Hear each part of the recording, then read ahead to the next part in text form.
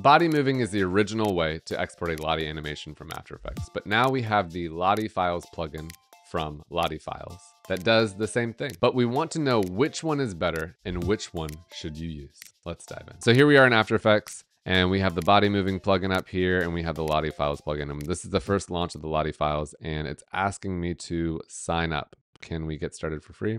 So First thing that's different is that you must have a Lottie's file account in order to use this plugin. Otherwise, you are stuck at this page. That may be an issue for some people if you're in like a corporate setting, and like an enterprise machine. Maybe there'll be permissions and things like that that you'll be limited uh, and won't be able to use this. And in that case, Bodymovin will be the, the thing for you. But let's go ahead and log in. All right, we're logged in and here we are. So pretty similar interface. So we have, we, we're seeing all of our compositions here. We can search for them in the same way. We have our settings that we can click here and it's organized very differently. So in looking at the settings between the Lottie Files plugin and the Bodymovin plugin, the Bodymovin plugin has significantly more granular settings that you can use in order to customize the export of your Lottie file. Exporting with the demo checked in Bodymovin is really helpful for just previewing it locally, making sure that things don't look weird. This one, you can also export things to Rive. You can do it as a standalone, so it has the player and the animation in a single JSON file. But then everything that the Lottie file plugin has, Bodymovin has, plus some more. Whether those things are super helpful or not is depending on your specific situation where this Lottie file is going to live one day. So Lottie Files plugin is definitely a little bit more simple. In the Lottie Files plugin, we also have these other tabs that basically link into the Lottie Files website and library of a bunch of different free Lottie file animations that you could get. There's not usually a lot of situations where you're wanting to take a Lottie file and re-import it into After Effects because usually the animation data is a little bit messy, but that's there if you needed that. And then you also have an opportunity to save your exported Lottie files into like your own project workspace so that you can share them amongst other people that you're working with. Let's take a look at the two animations that we're going to uh, render out. So we have this one here, which is a simple shape animation. We're only using position and rotation. We have a rounded rectangle with a stroke on it, and it's just doing this nice looping animation. On the other one, we're using a PNG, and we just have this simple scale up and scale down. Oh yeah, don't forget to subscribe if you want more of these tips. And so we're gonna see how does it do with PNG in a Lottie file and how does it do with just shape layer. So let's go ahead and select both of these. Let's our PNG export Lottie. Let's make sure that we unselect everything that we don't need. We're definitely going to do a demo for local preview, and we're going to include the assets inside of the JSON file. And we can also do some compression here. Sometimes it helps, sometimes it really doesn't do anything. We'll go ahead and we'll save that. For the shape Lottie, we don't need anything selected except for the demo preview. Let's go ahead and select the destination. All right,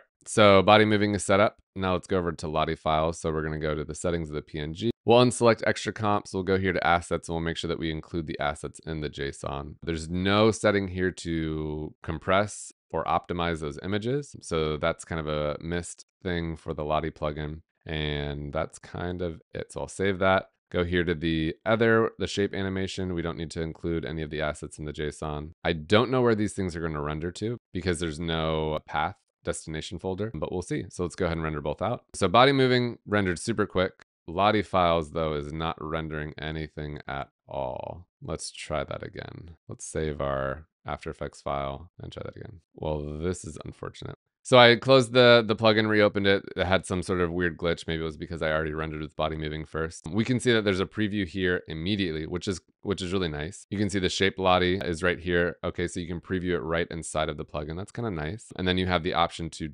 download it. To download this animation, save it to a workspace. All right, check this out. To download this animation, save it directly to a workspace first upgrade to download animation directly. What is this? So let's hit upgrade. Okay, so here we go. All right, so there's a paywall with the Lottie Files plugin, which is really unfortunate that you have to pay at least $19 a month if you want to download that Lottie file immediately from export. Let's check out the other way. So it's I can download it if I save it to a workspace first. So let's see. Okay, save to workspace. We'll do it here. We'll upload it. Okay, and now I can download it. Okay, so now I can download the JSON and there's this optimized JSON. I'm curious what that does. The file size hasn't come up yet. But you can also see that this is behind this little crown, which to me would make me assume that that is a paid feature. Um, also unfortunate that that's behind a paywall as well. It's also taking a long time to actually optimize. So we'll go ahead and we'll download the actual JSON.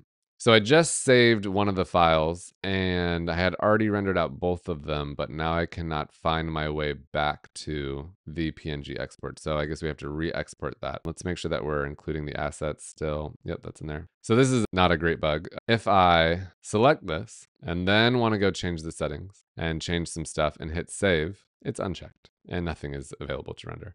So that's kind of just like an unfortunate bug. So let's go ahead and render that out. Render it out, and you can see in this preview that that is a like image missing type of placeholder. And so it's not actually showing my PNG in there. So we'll go ahead and select that. And that is not at all what the animation is supposed to be. Because if we remember, our animation should look like this, you know, to remind people to subscribe. And this is not the same as this. So that's not good. Let's see if we download it, if that helps us out. But in order to download it, got to save it to your workspace first. So let's save it to our workspace. Upload. Okay. Couldn't upload it. All right. Let's try again. We're to we're to give it a good we're giving it a good thorough chance. Can't.